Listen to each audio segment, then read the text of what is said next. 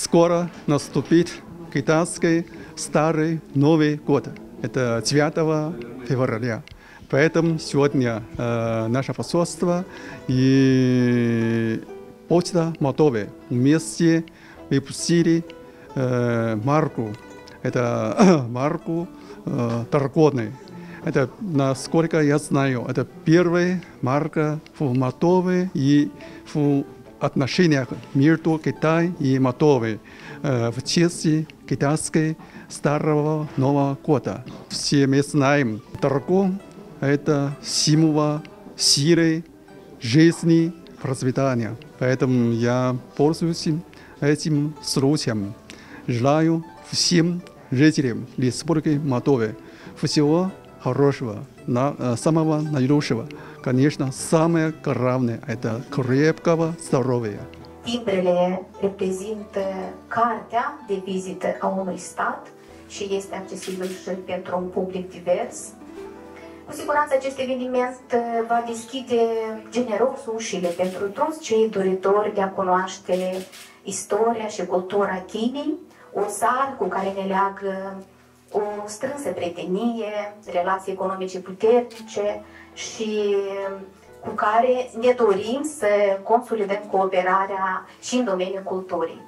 Eu mă bucur să ved astăzi un eveniment atât de mare dedicat lansării unei mărci poștale, deoarece am considerat că aceste evenimente trebuie să devină o tradiție și să promovăm această frumoasă tradiție de colectare de mărci, de scriere a istoriei unei țări, deoarece consider emisia acestor mărci poștale, la fel este o scriere a unei istorii.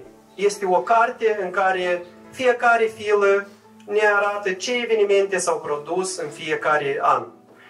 Вся работа построена на символах китайских – которые освещают в данном случае вот э, ветка сакуры. Это э, говорит э, символ мимолетности жизни. Дело в том, что сами цветки, которые цветут на дереве сакура, источают свой аромат 10 дней. Потом это идет опадание. Фонарь китайский, он символизирует окончание Нового года китайского. Дело в том, что когда заканчивается э, китайский Новый год, э, празднование его, э, идет следующий национальный праздник, праздник фонарей. Вот, как правило, они красные. Вообще красный цвет для Китая – это он как бы основополагающий цвет, который отгоняет злых духов и притягивает удачу. И в данном случае вот изображен фонарь. И символично э, он висит на ветке сакуры, которая тоже говорит о мимолетности жизни. И конец китайского Нового года э, символизирует фонарь э, красный. Мифологический зверь дракон, он сделан в красном цвете. На розовом фоне, розовый фон, он также идет в переплетении с розовыми цветками цветов сакуры. И мне что нравится вот в этом заказе, действительно идет вот как переплетением нашей жизни.